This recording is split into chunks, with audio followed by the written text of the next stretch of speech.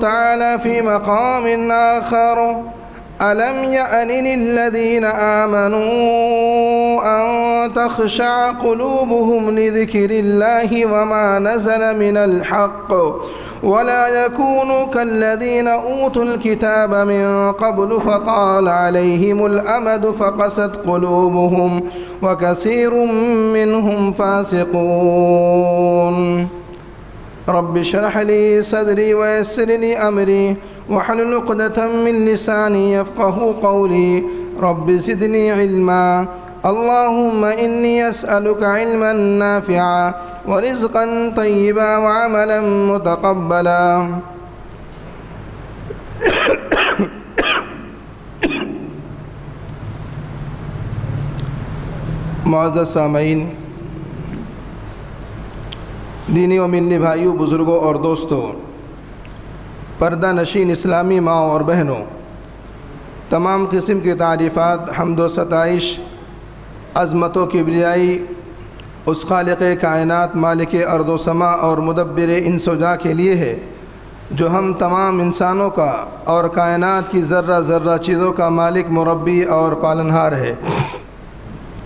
बेशबहा दरुद सलाम हो उस ज़ात मुक़दसा मुबारक मतहरा पर जिसका नाम नाम इसम गिराम महमद रसोल्ला सल्लल्लाहु वसम है।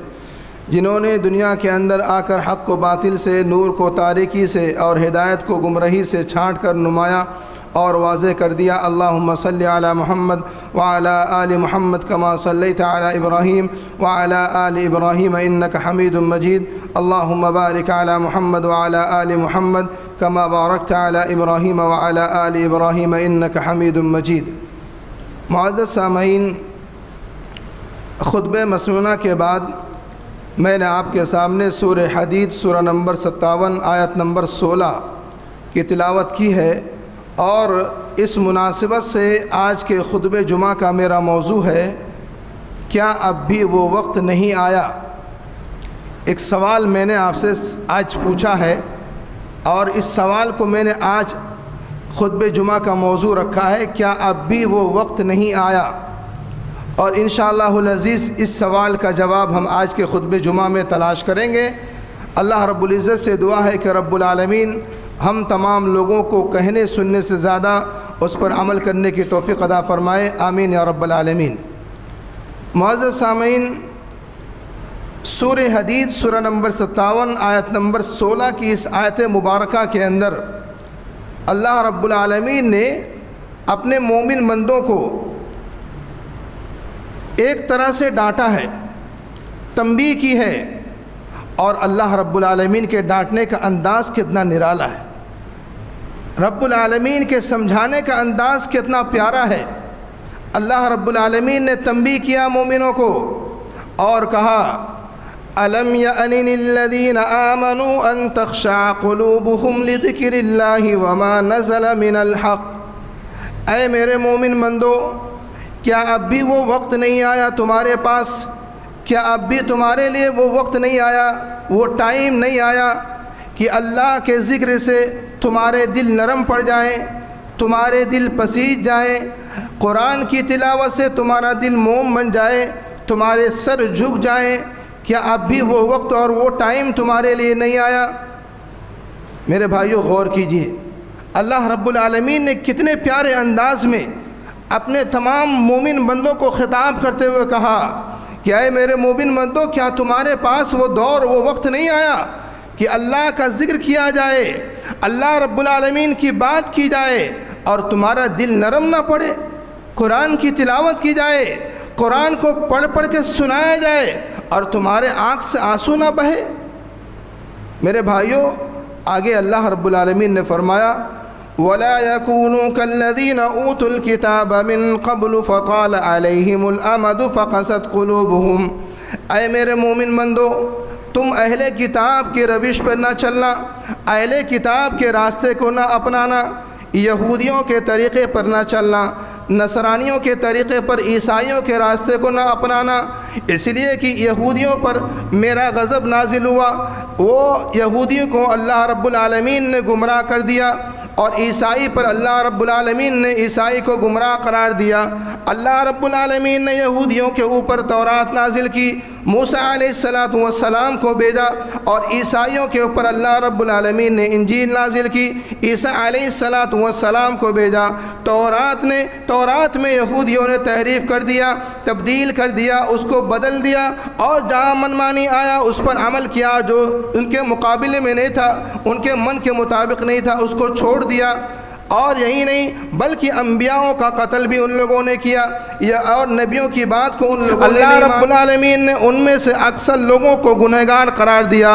अक्सर लोग गुनहगार हो गए अल्लाह के नाफरमान बंदे हो गए। इस्लामी भाइयों सोचने का मकाम है। अल्लाह रब्बुल आलमीन ने जहाँ पर मोमिन बंदों को ख़िताब करते हुए कहा कि कुरान की आयतें सुनकर, अल्लाह और उसके रसूल की बातों को सुनकर, अभी तुम्हारा दिल नरम नहीं पड़ रहा है, क्या अब भी वो वक्त नहीं आया है? और उसके बाद अल्लाह रब्बुल आलमीन ने दूसरी तरफ़ यहूद नसारा की रविश पर चलने से मना किया है और कहा कि देखो, जो मेरा रास्ता है और मेरे नबी का बताया हुआ तरीक़ा है, वो तरीक़ा सबसे बेहतरीन तरीक़ा है। लिहाजा यहूद नसारा की रविश पर न चलना, इसलिए कि यहूद नसारा ने, यहूद नसारा पर अल्लाह का गज़ब और अल्लाह रब्बुल ने उनको गुमराह करार दिया है, लिहाजा उनकी रविश को कभी भी इख्तियार मत करना। मेरे भाइयों, जब ये आयत करीमा नाजिल होती है तो सहाब कराम अब्दुल्ला इबन अब्दुल्ला इबन मसूद रदी अल्लाह तु कहते हैं कि सहाब कराम जब मदीना पहुँचे तो खेल कूद में ज़्यादा मशगूल हो गए, तफरीक का काम करने लगे, हँसी मज़ाक करने लगे तो अल्लाह रब्बुल आलमीन ने तंबी के तौर पर एक डांटने के अंदाज में कहा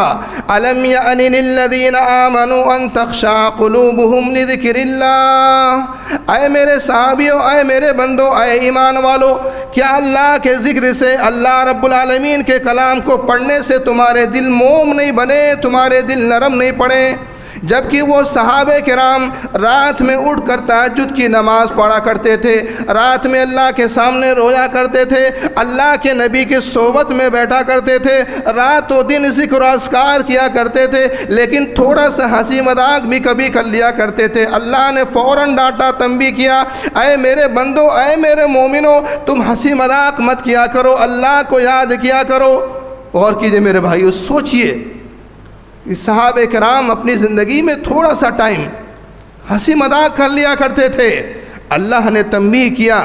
अल्लाह रब्बुल आलमीन ने समझाया। और वो सहाब कराम का मामला क्या था? रात दिन तहजद की नमाज़, रात में उठ कर तहजद पढ़ना, अल्लाह के सामने रोना। और हमारा क्या हाल है? चौबीस घंटा हम अल्लाह की नाफरमानी कर रहे हैं। अल्लाह और उसके रसूल की बातों के ख़िलाफ़ वर्जी कर रहे हैं। सुन्नतों को पामाल कर रहे हैं। अल्लाह रब्बुल आलमीन के फरमुदात को ठुकरा रहे हैं। आज हम देख लीजिए, देख लें, समाज का जायज़ा ले लें। आज हम और आप क्या नहीं देखते हैं कि हम और आप कितना गुनाह कर रहे हैं। अल्लाह की कितनी नाफरमानी कर रहे हैं। जगह जगह पर अल्लाह की नाफरमानी हो रही है। अल्लाह रब्बुल आलमीन के कुरान की तिलावत की जाती है, लेकिन हमारे दिलों के अंदर असर नहीं होता। आज हमारे दिलों में असर क्यों नहीं हो रहा है? आज हमारा दिल मोम क्यों नहीं बन रहा है? आज हमारे दिलों के अंदर इनकलाब पैदा क्यों नहीं हो रहा है? इस्लामी भाइयों, आज हम और आप समाज में देखते हैं कि एक इंसान अपने जिस्म को, बॉडी को बनाने के लिए बहुत कोशिश करता है। बहुत कोशिश करता है। तरह तरह का खाना खा रहा है। तरह तरह की दवाएँ ले रहा है। जो जैसा बोला वैसा कर रहा है। किसी ने कहा कि रोज़ाना तुमको इतनी वर्जिश करनी होगी, जब तुम्हारा पेट बराबर रहेगा, तुम्हारा जिसम सही रहेगा। किसी ने कहा, जिम ज्वाइन कर लो, जिम में चले जाओ, वहाँ पर तुम वर्जिश करो, तुम्हारा पेट और तुम्हारा पूरा जिसम अच्छा हो जाएगा। अल्लाह अकबर, दुनिया को दिखाने के लिए जिसम को अच्छा बनाने वालों दुनिया को दिखाने के लिए चेहरे को अच्छा बनाने वालों, दुनिया को दिखाने के लिए अपने तमाम चीज़ों को बेहतरीन बनाने वालों, क्या कभी इस बात इस बात पर भी गौर किया कि आपका दिल अच्छा है कि नहीं? कभी दिल की असलाह करने के लिए कभी कोशिश आपने की? क्या कभी दिल की असलाह के लिए कभी जिम खाने में आप कभी एडमिट लिए? कभी आप गए? क्या कभी कुरान की तिलावत किया? क्या कभी दिल की असलाह के लिए आपने कोई दवाइयाँ ली? अल्लाह अकबर, मेरे भाइयों, अगर दिल के अंदर ईमान की क्षमा है, तब तो दिल ज़िंदा है। अगर दिल के अंदर ईमान की क्षमा नहीं है तो दिल ज़िंदा नहीं है। दिल मुर्दा है, और जब दिल मुर्दा होता है तो इंसान दुनिया के अंदर एक ज़िंदा लाश की तरह है। एक ज़िंदा लाश की तरह है। क्यों? ये मैं नहीं कहता, कुरान कहता है। कुरान ने कहा वलक़दर अनाली जहन्नम जिन्नि वल इंसिन लहुम कलूबुल्लाफ़ून बिहा। अल्लाह रब्बुल आलमीन ने फरमाया अय मेरे बंदो, मैंने जिन्नातों और इंसानों को, मैंने बहुत सारे जिन्नातों और इंसानों को सिर्फ़ इसलिए पैदा किया है कि उनको जहन्नम में दाखिल करूँगा। जहन्नम उनका ठिकाना होगा। क्यों होगा? लहुम कलूबुल्लाफ़ून बिहा। उनके पास दिल तो है दिल तो है, लेकिन समझने की सलाहियत नहीं है। समझते नहीं है, कुरान को सुनते हैं, नबी के फरमान को सुनते हैं, लेकिन समझते नहीं है। लहुम कलूबुल्लाफ़ून बिहा व लहुम आयुनसिरून बिहा। आँख तो है, लेकिन आँख में वो बिनाई नहीं है। आँख तो है, लेकिन उस आँख से अल्लाह रब्बुल आलमीन के कायनात को नहीं देखते हैं। अल्लाह रब्बुल आलमीन की निशानियों पर गौर नहीं करते हैं। वलहुम आदान बिहा। कान तो है, लेकिन इस कान से हक बात को नहीं सुनते, कुरान को नहीं सुनते, अल्लाह के नबी के फरमुदात को नहीं सुनते। इस्लामी भाइयों, अल्लाह रब्बुल आलमीन ने फरमाया, मैं बहुत सारे इंसानों और जन्नातों को जहन्नम में दाखिल करूँगा। सिर्फ़ तीन बातों को लेकर के उनके पास दिल तो है, लेकिन समझते नहीं है। हक बात को कबूल करने की सलाहियत नहीं है। आँख तो है, लेकिन इस आँख से वो अच्छी चीज़ों को नहीं देखते अल्लाह की निशानियों को नहीं देखते कान तो है, लेकिन इस कान से कुरान की बातों को नहीं सुनते अल्लाह और उसके रसूल की बातों को नहीं सुनते उलानाम बल ऐसे लोग जानवर हैं, ऐसे लोग जानवर हैं, ये कुरान कह रहा है। ऐसे लोग जानवर हैं, बल हम अजल। बल्कि जानवर से भी बदतर ऐसे लोग हैं, जिनके पास पास दिल है, लेकिन दिल के दिल का सही इस्तेमाल नहीं करते। आँख है आँख का सही इस्तेमाल नहीं करते। कान है कान का सही इस्तेमाल नहीं करते। अल्लाह ने फरमाया, ऐसे लोग जानवर हैं, बल हम अजल, बल्कि जानवर से भी बदतर हैं। वह उलाई गाफिलून, और ऐसे लोग गफलत में पड़े हुए हैं। इस्लामी भाइयों, गौर कीजिए, समझिए कि अल्लाह रब्बुल आलमीन ने क्या बयान फरमाया? जिनके पास दिल है, लेकिन दिल को सही जगह पर इस्तेमाल नहीं करते हैं। आँख का सही इस्तेमाल नहीं करते हैं, कान का सही इस्तेमाल नहीं करते हैं। ऐसे लोग जानवर हैं, ये अल्लाह कह रहा है। ऐसे लोग जानवर हैं, जानवर ही नहीं, बल्कि जानवर से भी बदतर ऐसे लोग हैं जो लोग सही इस्तेमाल नहीं कर रहे हैं। क्यों? यहाँ पर एक सवाल पैदा होता है, अल्लाह ने ऐसे लोगों को जानवर क्यों कहा? आप सोचिए कुरान की बातों को समझिए। अल्लाह ने ऐसे लोगों को जानवर क्यों कहा? इसलिए कहा कि अल्लाह ने जानवरों को बोलने की सलाहियत नहीं दी है। बोलने की सलाहियत नहीं दी है, उनके पास दिल नहीं है, समझते नहीं है। लेकिन इंसानों को अल्लाह ने बोलने की सलाहियत भी दी है, समझने की भी सलाहियत दी है, दिल भी दिया है। इन तमाम नेमतों के देने के बावजूद भी अगर इंसान समझता नहीं है तो जानवर से भी बदतर कहलाएगा और ऐसे लोग अल्लाह की नज़र में जानवर हैं। मेरे भाइयों, समझिए, सोचिए, कुरान पढ़िए। कुरान ने ऐसे लोगों को जानवर कहा, अल्लाह जानवर कह रहा है, जानवर से भी बदतर कह रहा है। जो लोग दिलों का सही इस्तेमाल नहीं करते हैं, आँखों का सही इस्तेमाल नहीं करते हैं, कानों का सही इस्तेमाल नहीं करते हैं। इस्लामी भाइयों, अगर दिल ज़िंदा है, इंसान ज़िंदा है और अगर दिल मुर्दा है तो इंसान मुर्दा है। सही बुखारी की रवायत है।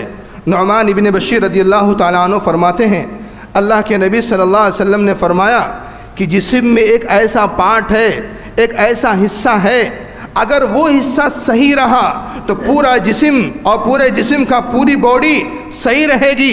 अगर वो ख़राब हो गया, वो चीज़ ख़राब हो गई तो पूरा जिसम ख़राब हो जाएगा। अला वही अलकल्ब अल्लाह के नबी ने फरमाया, वो पार्ट कौन सा है? वो दिल है।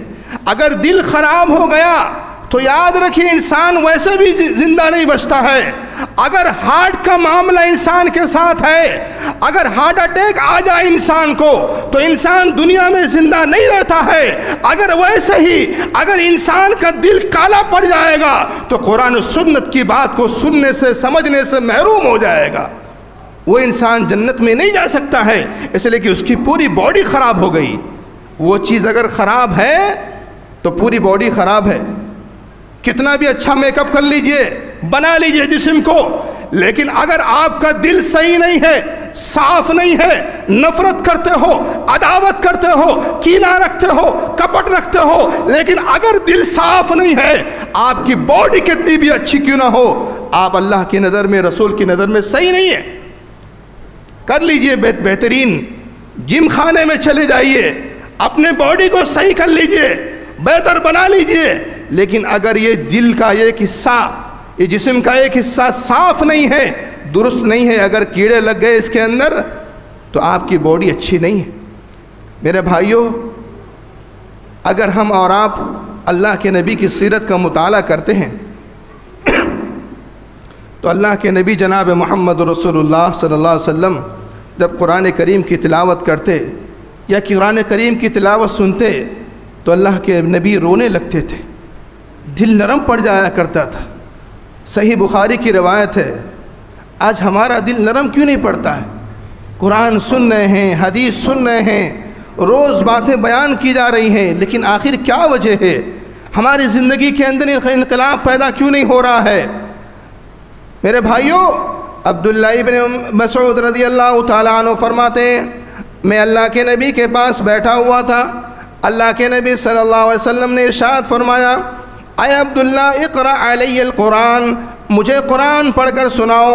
कुरान की तिलावत करो, मैं कुरान पढ़ना चाह सुनना चाहता हूँ। मुझे कुरान पढ़कर सुनाओ। अब्दुल्ला इबन मसूद कहते हैं, अल्लाह के नबी, कुरान आप पर नाजिल हुआ। आप साहिब कुरान हैं। मैं कैसे कुरान पढ़कर सुनाऊं? आप के ऊपर तो पूरी कुरान नासिल हुई है। मैं कैसे पढ़कर सुना सकता हूँ? अल्लाह के नबी ने फरमाया, नहीं नहीं, मुझे पढ़कर सुनाओ। इस्लामी भाइयों, यहाँ पर एक सवाल मैं आपसे पूछना चाहता हूँ। एक बात आपसे पूछना चाहता हूँ। आप तमाम लोग अमानतदारी के साथ, ईमानदारी के साथ बताइए कि आपने कुरान को कब खोल कर पढ़ा था? कुरान आपने कब खोला था? कोई भाई सवाल मैं कर रहा हूँ आपसे, आप जवाब दीजिए कि आपने कुरान का वर्क कब खोला था, कब कुरान पढ़ा था।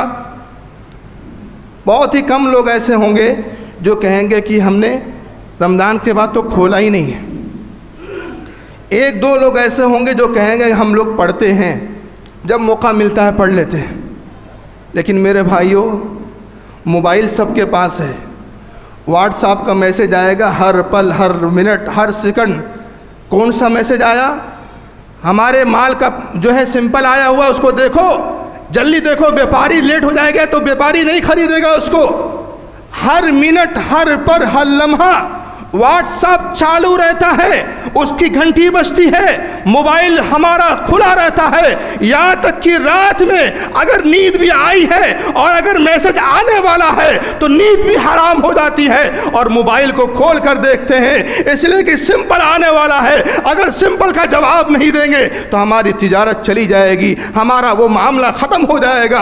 अल्लाह अकबर, हमारे फेसबुक पर फ्रेंड रिक्वेस्ट कितनी आई है, उसको हमें भेजना है। दो दोस्ती बनाना है, दोस्त कायम करना है। मेरे भाइयों व्हाट्सएप का इस्तेमाल करने वालों, मैसेजों को देखने वालों, एक मैसेज अल्लाह का भी है, आखिरी पैगाम अल्लाह का भी है, आखिरी मैसेज अल्लाह का भी है, और वो मैसेज, वो पैगाम, और वो आखिरी आखिरी पैगाम अल्लाह का कुरान की शक्ल में है। अल्लाह ने मैसेज भेजा है, अल्लाह ने पैगाम भेजा है। आए मेरे बंदो, अब भी सुधर जाओ, कुरान की तिलावत करो, लेकिन लेकिन उस मैसेज को खोलकर पढ़ने वाले कितने लोग हैं?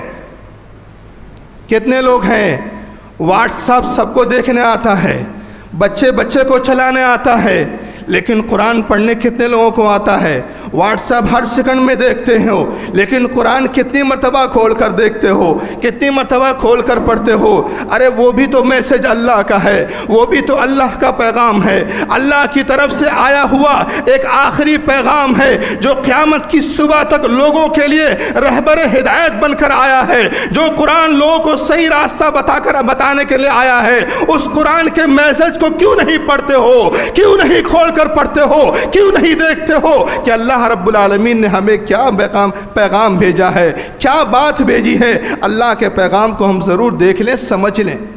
मेरे भाइयों अब्दुल्ला इबन मसूद रज़ी अल्लाह तु नबी की बात पर कुरान पढ़ना शुरू कर देते हैं। नबी की बात पर कुरान पढ़ रहे हैं सूर्य निसा की तिलावत कर रहे हैं।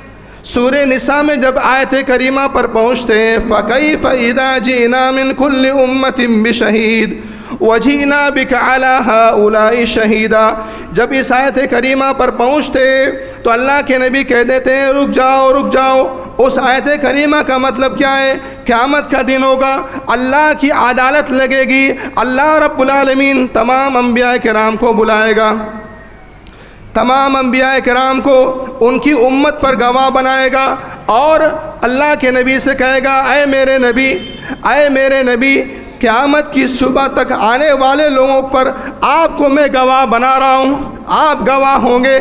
जब ये आयत करीमा अब्दुल्ला इबन मसूद पढ़ते हैं, अल्लाह के नबी कहते हैं, रुक जाओ रुक जाओ, बस करो अब्दुल्ला, बस करो। जब अब्दुल्ला बिन मसूद नज़र उठाकर देखते हैं, अल्लाह के नबी ज़ारो कतार रो रहे हैं। अल्लाह के नबी के आँख से आँसू टपक रहा है। अल्लाह के दिल अल्लाह के नबी का दिल नरम पड़ जाता है। अल्लाह के नबी रोने लगते हैं, मेरे भाइयों, अलम यादीन मनु आज वो वो वक्त कब आएगा? वो दिन कहाँ चला गया है कि आज अल्लाह के ज़िक्र से, अल्लाह के कुरान की तिलावत पढ़ने से हमारे दिल नरम क्यों नहीं पड़ते हैं? हमारे आँख से आँसू क्यों नहीं टपकते हैं? आज कुरान पुकार पुकार कर कह रहा है, आए अल्लाह के बंदो, नेक बन जाओ। आए अल्लाह के बंदो, नमाज़ कायम करो। हमारा नबी कुरान पढ़ता है, कुरान सुनता है, दिल नरम पड़ जाता है, आँख से आँसू टपकने लगते हैं। लेकिन मेरे भाइयों, आज उसी नबी के उम्मत ही। आज हम कुरान पढ़ते हैं, हमारे आँख से आँसू क्यों नहीं टपकते हैं? आज हम, हमारे दिल नरम क्यों नहीं पड़ते हैं? ये सोचने की बात है मेरे भाइयों, सोचिए, गौर कीजिए। आखिर उसी कुरान को पढ़ने से हमारे दिल नरम क्यों नहीं पड़ते हैं? जबकि हमें सबको मालूम है, सबको मालूम है कि एक दिन मरना है। अल्लाह के यहाँ जाना है। और बहुत सारे भाई हमारे ये भी कहते हैं कि जब बुढ़ापा आएगा, तब मौत आएगी। लेकिन ये गलत फहमी को निकाल दीजिए। आप चले जाइए कब्रस्तान में। वहाँ पर 20 साल के बच्चे की भी खबर मिलेगी आपको। पाँच साल के उन नन्हे बच्चे की भी खबर आपको मिलेगी। चालीस साल के नौजवान की खबर भी आपको मिलेगी। पचास साल के बूढ़े की भी खबर आपको मिलेगी। और एक खबर वो भी मिलेगी जो अपनी माँ के पेट से मरा हुआ बच्चा पैदा होता है, उसकी भी खबर आपको मिलेगी। कहाँ चले गए? कुल्लू नफ्सिन जायक़तुल मौत हर नफ्स को मौत का मदा चखना है। हर जीरू को मौत के आगोश में आना है। वही नमा तुवफ़ौना उजूरकुम यौमल क़ियामा। और क़यामत के दिन पाई पाई का हिसाब अल्लाह सबको देगा। हर एक का हिसाब उसको अल्लाह रब्बुल आलमीन ज़रूर देगा। लेकिन जो जहन्नत, जहन्नम से बचा लिया गया और जन्नत में दाखिल कर दिया गया फ़कत फास वो कामयाब हो गया, वो कामयाब हो गया। अल्लाह की नज़र में वो कामयाब है। मेरे भाइयों, सोचिए, समझिए, गौर करने की बात है। आज समाज के अंदर मुआशरे के अंदर हम और आप या हमारा मुसलमान भाई अपनी तरक्की के पीछे लगा हुआ है। उसकी निगाहें, तरक्की की निगाहों में, निगाहों से निगाहें उसकी मिल रही है। हर भाई ये सोचता है कि आज अगर मेरे पास एक मकान है तो कल दो मकान कैसे आएगा? एक गुंठा ज़मीन है, दो गुंठा ज़मीन कैसे आएगी? एक गाड़ी है, दूसरी गाड़ी कैसे आएगी? आज 500 कमा रहा हूँ, कल हज़ार रुपया कैसे होगा? लेकिन कल क़यामत के दिन अल्लाह रब्बुल आलमीन के सामने इंसान क्या चाहेगा? उसकी तमन्ना क्या होगी? उसकी आरज़ू क्या होगी मेरे भाइयों? ये सवालिया निशान है। अल्लाह ने पूछा अपने बंदों से कि क़यामत के दिन एक इंसान का, एक इंसान की आरज़ू दुनिया के अंदर क्या होती है? कमाने की होती है। उसकी आरज़ू पैसा पिटोड़ने की होती है। लेकिन क़्यामत के दिन उसकी तमन्ना आरज़ू क्या होगी? कुरान उठाइए सूर्य मोमिन उठाइए, आयत नंबर अंठानवे, निन्यानवे से लेकर 108 तक पढ़िए। अल्लाह ने क्या फरमाया?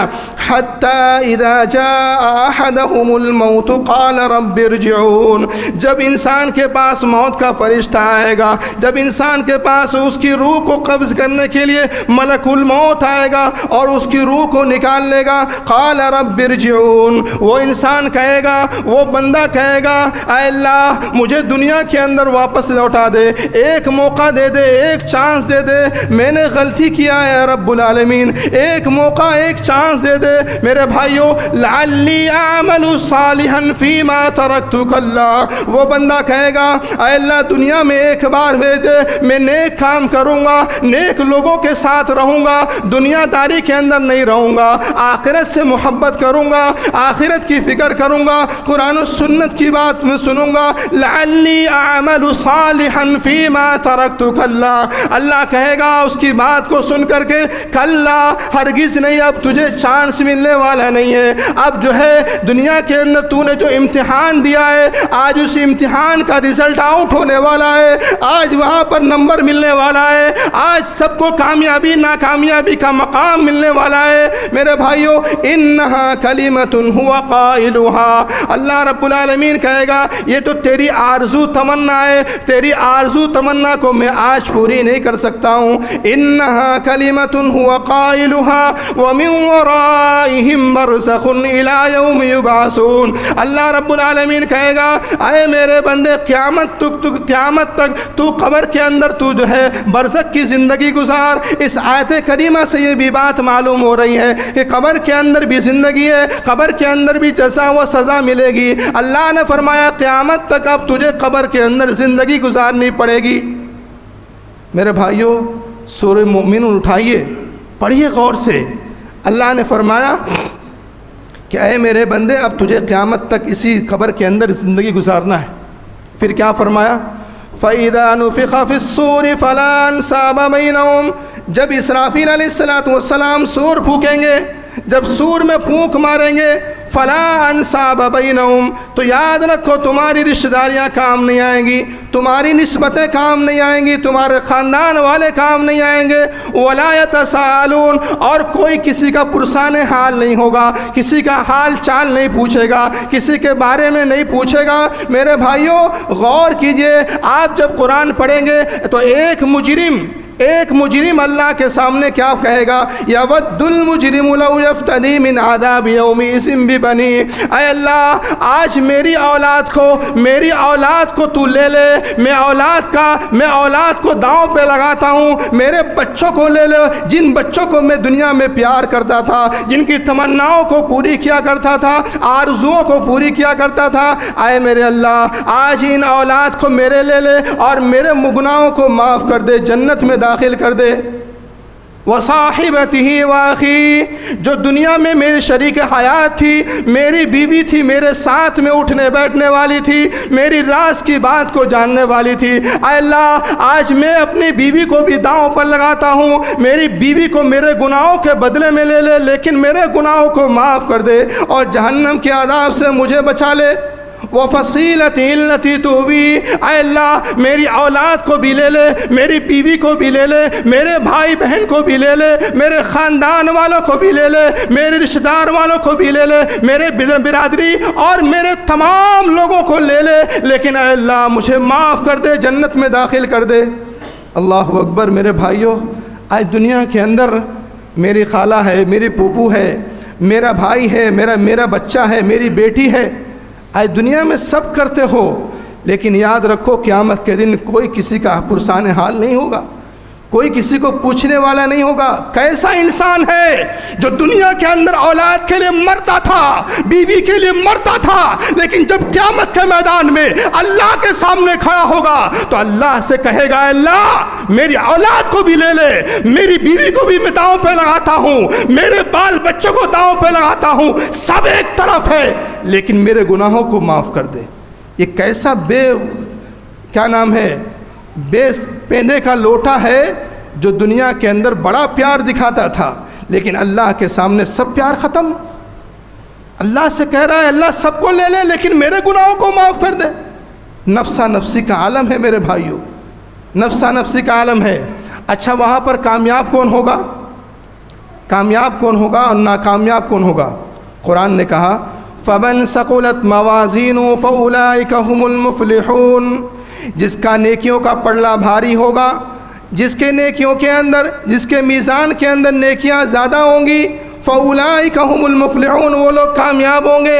वमन खफ़त मवाजीन, और जिसका नेकियों का पढ़ना हल्का हल्का होगा, नेकियाँ कम होगी। फ़ौलाइकल्लदीन खसर अनफुसम वो लोग नुकसान उठाने वालों में से हो जाएँगे। उन वहम फ़ी जहन्नम खालिदून, और हमेशा हमेश जहन्नम में रहेंगे। इस्लामी भाइयों जिनका नेकियों का पढ़ना हल्का होगा, वो नुकसान उठाने वालों में से होंगे। अच्छा जहन्नम में जाएँगे तो क्या करेंगे? अगर किसी का नेकी कम, किसी की नेकी कम होगी और वो जहन्नम में चला गया तो क्या करेगा? तल्फ़ूजूहमुन्नार अल्लाह रब्बुल आलमीन उसके चेहरे को जला देगा, झुलसा देगा। जैसे कोयले पर हम कोई चीज़ जलाते हैं, हमारा हमारा बदन झुलस जाता है, इंसान दुनिया के अंदर जल जाता है, देख के डर लगता है, डरावना लगता है। अल्लाह ने फरमाया, जहन्नम के अंदर हम उसके उसके चेहरे को झुलसा देंगे। अय क्रीम लगाने वालों, क्रीम लगाकर संवारने वालों, चेहरे को बना, बनाने वालों, दिल को साफ़ ना रखने वालों, याद रखो जहन्नम के अंदर अल्लाह रब्बुल आग के अंदर थपाएगा, झुलसा देगा, आपके चेहरे को बर्बाद कर देगा। वह फ़ीहा कालहून, सिर्फ़ चेहरा ही नहीं, बल्कि पूरा बदन अल्लाह ताला जला देगा, पूरा बदन झुलसा देगा। बदन का हर हर पार्ट जल जाएगा। अब जहन्नमी जब जल रहे होंगे तो अल्लाह रब्बुल सवाल करेगा उन जहन्नमियों से, पूछेगा, क्या पूछेगा मेरे भाइयों? ज़रा गौर से सुनिए। मैं चाहता हूँ कि जो बात कही जाए, उस पर अमल किया जाए। आज हमारा समाज अभी कुछ दिन पहले क्या हुआ? आधे घंटे बिजली कड़की कि नहीं कड़की। आपने देखा कि नहीं देखा? हमारे पचास साल, साठ साल के बुज़ुर्ग लोग कहते हैं कि हमने कभी ऐसा नहीं देखा मंज़र। इतना ख़तरनाक मंज़र था। हम लोग इसी मस्जिद में नमाज़ पढ़ रहे थे। आखिरी रकात थी और बिजली की वो कड़क आवाज़, अल्लाह अकबर, क़यामत का एक छोटा सा मंज़र नज़र आ रहा था। हर आदमी परेशान। जिसको कुछ पढ़ने नहीं आता, वो भी अजान दे रहा है, वो भी कुरान पढ़ रहा है, वो भी अल्लाह अकबर कह रहा है, अस्तगफिरुल्लाह पढ़ रहा है, सब अपने बच्चों को गोद में लेकर बैठे हुए हैं। ये डर और खौफ का माहौल। आए लोगों, मेरी माँ और बहनों, ये क्यामत के छोटे से मंजर को देख करके आप परेशान हो जाते हो, डर जाते हो, उस क्यामत का जो मंजर होगा, वो कितना खौफनाक मंजर होगा। ज़रा कभी आपने गौर किया? आज ये अल्टीमेटम है मुसलमानों, ये अल्टीमेटम है अल्लाह की तरफ़ से। क्या मुसलमानों, सुधर जाओ। आधा घंटा बिजली चली, सबके सब परेशान। कोई कहीं कुछ पढ़ रहा है, कोई कुछ पढ़ रहा है, कोई अजान दे रहा है। बिजली ख़त्म, नमाज़ भी ख़त्म, ज़िक्र असकार भी ख़त्म, सब कुछ ख़त्म। ये अल्लाह को धोखा दे रहे हैं हम और आप? किसको धोखा दे रहे हैं? किसको? अरे याद रखिए मेरे भाइयों, जब रब्बुल आलमीन का अजाब आएगा ना तो सातों ज़मीन के अंदर भी धस जाओगे ना, अल्लाह वहाँ से भी निकाल कर आपको बर्बाद कर देगा। अब कहाँ पर हैं आप? अब भी सुधर जाइए। अलम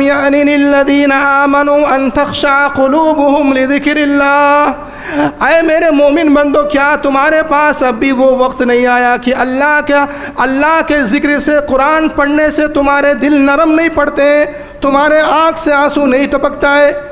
ये तमाम चीज़ें अल्लाह रब्बुल आलमीन दिखा रहा है। ये बिजलियाँ कड़क रही हैं, ये तमाम चीज़ें आ रही हैं। इंसान डर जाता है, परेशान हो जाता है। लेकिन अल्लाह रब्बुल आलमीन देख रहा है, इससे क्यों नहीं डरता इंसान? अल्लाह रब्बुल आलमीन का कैमरा चालू है कि नहीं चालू है? मेरे भाइयों, जब जहन्नमियों को अल्लाह जहन्नम के अंदर झुलसाएगा तो सवाल करेगा, क्या सवाल करेगा? बहुत ही पॉइंट की बात बता रहा हूँ। अठारह नंबर पारा खोलिए। और सूर मोमिन का आखिरी सफ़ा पढ़िए। बहुत ही प्यारा और एक दिल को दहलाने वाली चीज़ है। अल्लाह रब्बुल आलमीन ने सवाल करते हुए फरमाया, अय मेरे जहन्नमियों बंदो, जहन्नमियों, अलम तकुन आयाती तुतला अलैकुम, क्या तुम्हारे पास कुरान की तिलावतें नहीं की जाती थी? क्या मेरा बंदा कुरान पढ़कर तुम्हें सुनाया नहीं करता था? हदीस की बातें तुम्हारे सामने नहीं आती थी नबी की बातें तुम्हारे सामने नहीं आती थी। व, अलम तकुन आया थी तुतला अलैकुम फ़कुन तुम बिया तुकज़िबून। जब तुम्हारे सामने कुरान की तिलावत की जाती तुम कुरान की तिलावत को छुटला दिया करते थे। तुम क्या करते थे कि हम नबी की बात को नहीं मानेंगे, हम कुरान की बात को नहीं मानेंगे, हम अपने बड़ों की बात को मानेंगे। कुरान हदीस की बात को तुम एक तरफ़ रख दिया करते थे और बड़ों की बात को मान लिया करते थे। फ़कुन तुम बिहा तुकज़िबून तुम अल्लाह और उसके रसूल की बातों को छुटलाया करते थे। उसके बाद जहन्नमी क्या जवाब देंगे मालूम है आपको? कालू रबना गलमत अलैना शिकवतुना। आय अल्लाह, हमने अपने ऊपर जुल्म किया है, हमने अपने ऊपर, हम बदबख्त लोग हैं, हम गुनहगार लोग हैं। कालू रबना गलबत अलैना शिकवतुना। वकुन्ना कौमन सालीन हम गुमराह लोग हैं, हम गुमराह हो गए थे, लोगों की बातों में आ गए थे। अल्लाह और उसके रसूल की बातों को हमने छोड़ दिया था। उसके बाद जहन्नमी अल्लाह से मोहलत मांगेंगे। क्या कहेंगे? कुरान का अंदाज़ देखिए कितना निराला अंदाज़ है।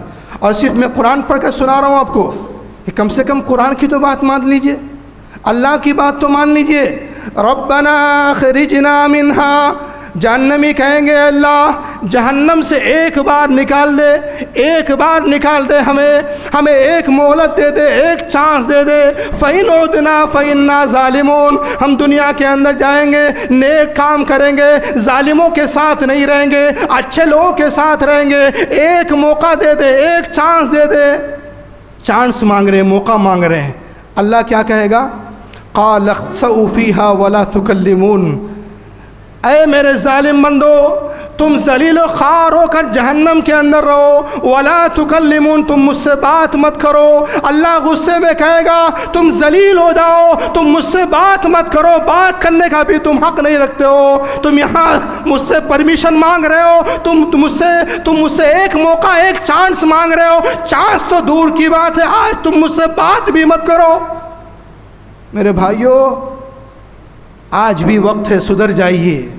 आज भी वक्त है, कुरान की तिलावत पढ़ी जाए। उसको सुन करके नरम पढ़िए दिल को नरम कीजिए, वरना अगर दिल नरम नहीं होगा तो आप ज़िंदा लाश कहलाएँगे। आप मुर्दा हैं, आप इंसान बन के भी आप जानवर हैं। ऐसे लोगों को जो दिल का सही इस्तेमाल नहीं करते हैं, अल्लाह ने ऐसे लोगों को जानवर कहा है। क्या कहा ऐसे लोगों को? जानवर कहा, मेरे भाइयों याद रखिए, जब इंसान जब कोई गुनाह करता है ना तो दिल उसका सख्त हो जाता है। दिल के अंदर उसके जंग पड़ जाता है। और एक हदीस की रोशनी में मैं समझाने के लिए मैं कुछ लिख कर लाया हूँ, ताकि आपको बात समझ में आए। ये हदीस क्या कह रही है और ये पिक्चर क्या कह रहा है? तस्वीर है, इससे पहले भी मैंने बताया था। ये हदीस का एक शक्ल मैंने बनाया है। ये हदीस है। और इस हदीस के अंदर जो बातें बयान की गई हैं उन बातों को मैंने समझाने के लिए आपके सामने आज मैंने पेश किया है। यह हदीस तिरमिज़ी की है और जो मैंने ऊपर एक लाइन लिखा है, यह हदीस का एक टुकड़ा है। हदीस थोड़ी सी लंबी है। अल्लाह के नबी ने क्या बयान फरमाया? हज़रत अबू हुरर रज़ी तु रावी हदीस हैं। वो बयान फरमाते हैं कि अल्लाह के नबी ने इरशाद फरमाया, जब बंदा कोई गुनाह का काम करता है, याद रखिएगा, सबसे पहले बंदे का दिल सफ़ेद होता है, बिल्कुल साफ़ होता है। सफ़ेद। कोई दिल के अंदर कोई निशान नहीं। लेकिन जब बंदा कोई गुनाह का काम करता है तो उसके दिल पर एक काला नुक्ता पड़ जाता है। कोई गुनाह किया, काला नुक्ता पड़ गया।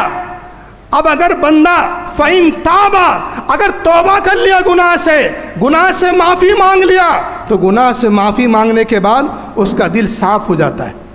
ये काला जो धब्बा पड़ा था ना, वो ख़त्म हो जाता है। लेकिन अगर गुनाह किया और गुनाह करने के बाद तौबा नहीं किया, बल्कि वो गुनाह से गुनाह करते जा रहा है तो एक धब्बे से दो धब्बा, तीन धब्बा, चार धब्बा, पाँच धब्बा पड़ जाता है। ये धब्बा पड़ते जा रहा है कब तक? गुनाह कर रहा है, गुनाह से तौबा नहीं कर रहा है। अब गुनाह पर फिर गुनाह करते जा रहा है तो उसका आधा दिल काला हो जाएगा। उसके बाद भी तौबा नहीं किया और गुनाह पे गुनाह करते जा रहा है तो उसका पूरा दिल काला हो जाता है और पूरा दिल उसका सियाह जंग हो जाता है। और इसी चीज़ को कुरान ने कहा, कल्ला बलराना अला कुलूबहिम मा कानू यकसिबून। उसके दिल पर एक जो है चादर चढ़ जाती है, अब वो हक बात को सुन नहीं सकता है, सुनकर कबूल नहीं कर सकता है। लाख उसको सुना दीजिए, कुरान सुना दीजिए, हदीस सुना दीजिए, अब उसके दिल पर मोहर लग चुकी है, अब वो हक बात को को सुनने से महरूम है। इसलिए मेरे भाइयों, कभी गुनाह हो जाए तो कम से कम अल्लाह से तोबा कर लीजिए। एक वाक़ बयान करके मैं बात ख़त्म कर रहा हूँ। मेरे भाइयों, कैसे लोग अल्लाह से डरते थे? फुजैल बिन अयाज एक तब ताबईन है। अल्लाह के नेक बंदे हैं। फुजैल बिन अयाज रहमतुल्लाह अलैह, पहले बहुत बड़े डाकू थे। बहुत बड़े डाकू। मुसाफिर भी डर रहे हैं। रास्ते में चलने वाला भी डर रहा है। कि इस रास्ते से जाऊँगा? फुजैल बिन आयास के लोग वहाँ पर मौजूद हैं। हमारे सामान को छीन लेंगे, हमारे ऊपर हमला कर देंगे। फुजैल बिन आयास का इतना डर लोगों पर मौजूद था, मुसाफिरों पर के अंदर मौजूद था। लेकिन फुजैल बिन आयास एक मरतबा डाका जनी करने के लिए एक घर की दीवार को फलांगता है, घर की दीवार पर चढ़ता है। रात का मौसम था, रात का वक्त था। चोरी करने की नीयत से जा रहे हैं और डाका जनी करने की नीयत से जा रहे हैं हैं घर के अंदर से आवाज़ आती है।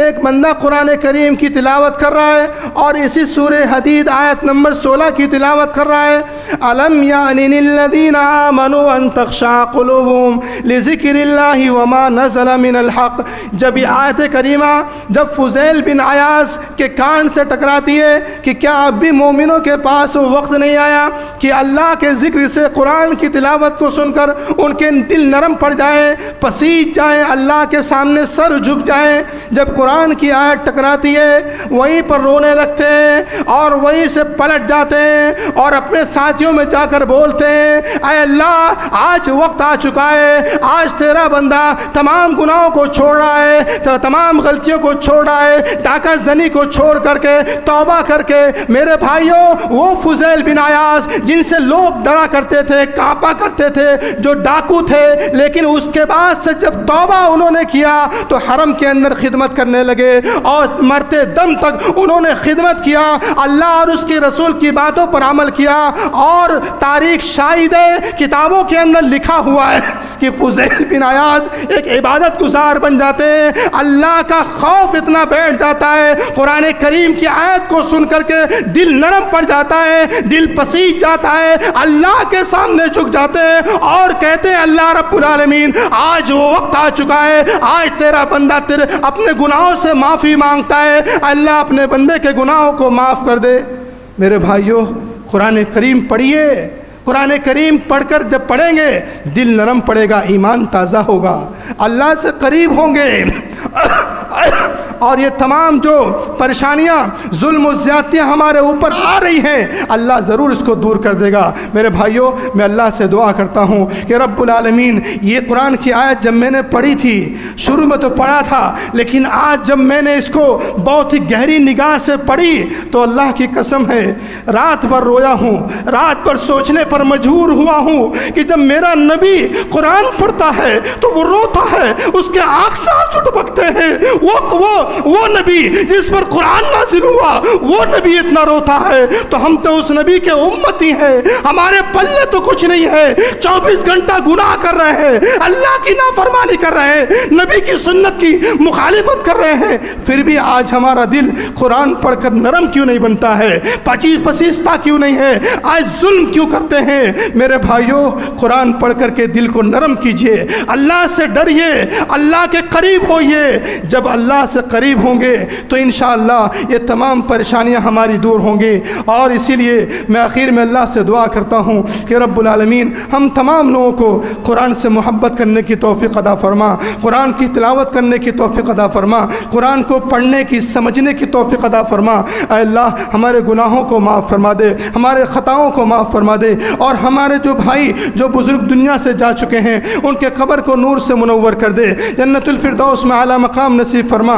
अल्लाह, हमारे बहुत सारे भाई हैं जो नमाज़ों से गफलत बरतते हैं, जो कुरान पढ़ने से गफलत बरतते हैं। अल्लाह उन्हें तोफ़ी दे, उन्हें तोफ़ी दे, उन्हें सही समझ दे, सही रास्ता उन्हें बता दे कि अल्लाह, वो एक हाथ में कुरान रखें और दूसरे हाथ में मुस्तफ़ा जान रहमत का फरमान रखें और इन्हीं दोनों किताब को लेकर वो चलें। अल्लाह हमें, अल्लाह और उसके रसूल के फरमान के मुताबिक ज़िंदगी गुजारने की तोफ़ी अदा फरमा। अल्लाह, हम दुआ करते हैं कि हमारे जो आलिम दीन, जनाब मौलाना कलीम सिद्दीकी साहब को गिरफ़्तार किया गया है, जो दीन इस्लाम की इशात कर रहे थे। और हमारे दीन के अंदर किसी पर कोई जुल्म कोई कोई ज़बरदस्ती नहीं है। अगर हमारे दीन में कोई आना चाहता है तो खुशी खुशी आ सकता है। कोई उस पर ज़बर नहीं होगा, कोई उस पर जुल्म ज़्यादती नहीं होगी। ला इकराहा फिद्दीन हमारे दीन में कोई ज़बरदस्ती नहीं है। अगर कोई आदमी अपने मुताले से इस्लाम को देख करके, मुसलमानों को देख करके अगर इस्लाम कबूल करता है तो मेरे भाइयों, ये हम इसमें क्या कर सकते हैं? अल्लाह हिदायत दे रहा है। हमारे इसमें क्या गलती है? मेरे भाइयों, जनाब मौलाना कलीम सिद्दीकी साहब को गिरफ़्तार किया गया इशात इस्लाम के लिए, दीन इस्लाम को फैलाने के लिए। मैं आपको बताना चाहूँगा, इस स्टेज से मिम्बर रसूल से, कि याद रखो मुसलमानों, मैंने कहा था, इस्लाम के नाम पर लोगों को गिरफ़्तार किया जा रहा है। इस्लाम के नाम पर जुल्म ज्यादती की जा रही है। छोड़ो देवबंदी को, छोड़ो अहलदीस को, छोड़ो वहाबी को छोड़ो सुन्नी को। आ जाओ। एक नस्बत हमारी है। हम मुसलमान हैं। इस्लाम का नाम लेने वाले अल्लाह ने हमारा नाम मुसलमान रखा है। इस्लाम के साय तले आ जाइए। जमा हो जाइए। सब मिल करके हम जुल्म ज्यादती के खिलाफ आवाज़ बुलंद करेंगे और अल्लाह से दुआ करेंगे कि रब्बुल आलमीन हमारे मौलाना कलीम सिद्दीकी साहब को अल्लाह जल अजल रिहाई, बाइज़्ज़त रिहाई दिला दे। और हम जमीयत अहल हदीस नानदूरा इस बात की पुरजोर मजम्मत करता है कि उनकी जो गिरफ्तारी हुई है, वो गिरफ्तारी को जल्दी रिहाई मिलनी चाहिए। हम सब दुआ करें और आगे हमारे जो नौजवान भाई, जो जो नौजवान, जो जो है, जिनकी गलती नहीं थी, जो नाहक गिरफ़्तार हुए हैं, उनके लिए भी दुआ करते हैं कि अल्लाह उन्हें जल्द अज जल्द रिहाई दे दे।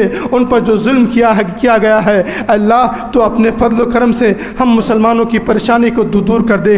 रब्बुल आलमीन, हम तमाम लोगों को मिल करके इस जुल्म के ख़िलाफ़ आवाज़ बुलंद करने की तोफ़ी अदा फरमा।